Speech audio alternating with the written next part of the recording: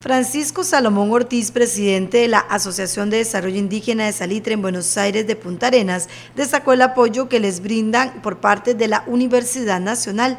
Según indicó el dirigente, mucho se habla de este territorio, pero solo el tema del problema de tierras y se deja de lado otros aspectos importantes.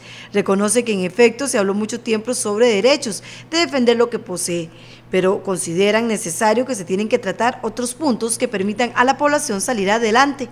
Sinceramente, antes y hoy Salitre siempre debía de ser, o siempre ha sido un pueblo donde todos conversamos con todos.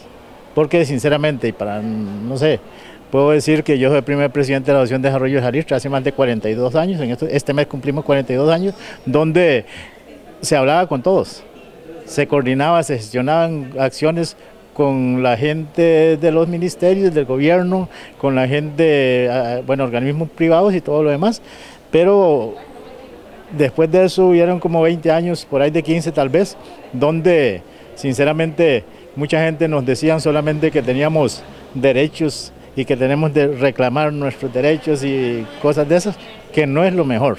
Sabemos que sí tenemos, pero para tener derechos primero tenemos que haber cumplido con obligaciones, con responsabilidades y otras cosas. Es bueno, un pueblo donde ya acá hoy tenemos por lo menos 100 personas, ya ido en cuatro cursos, tenemos otras iniciativas. Yo creo que no solamente la tierra es importante, en ese sentido destacó el apoyo de la Universidad Nacional, que los tomó en cuenta para brindar una serie de cursos para fortalecer a los indígenas. La asociación que representa es una asociación de desarrollo integral, donde tratamos de ver muy importante toda la parte de educación.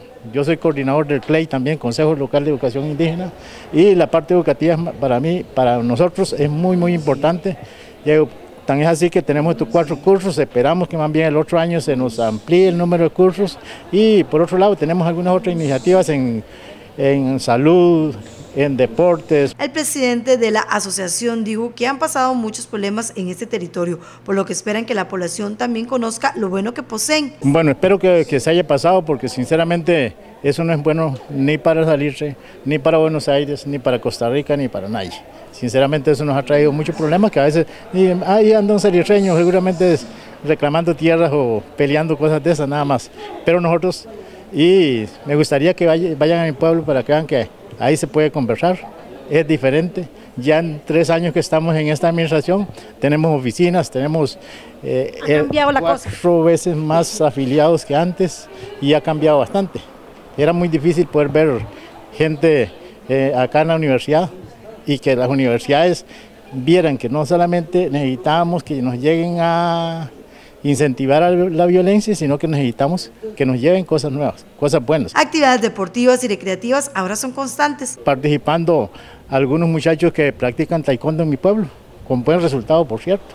Se practica taekwondo, se practica ajedrez, se practican algunas otras cosas, que entonces los muchachos, bueno, no solo muchachos, jóvenes y niños también, y adultos, que hacen otras cosas que no solamente pensar en que necesitamos estar eh, maltratando al demás, al, otro, al compañero, al vecino, porque sinceramente a veces nosotros antes, hasta conmigo, con nosotros mismos, peleábamos. Y eso, sinceramente, no nos trae nada bueno. Como pueden ver o como pueden a lo mejor imaginar, esos 20 años es un tiempo que, que poco o nada se hizo. En Salitre esperan cada día salir adelante.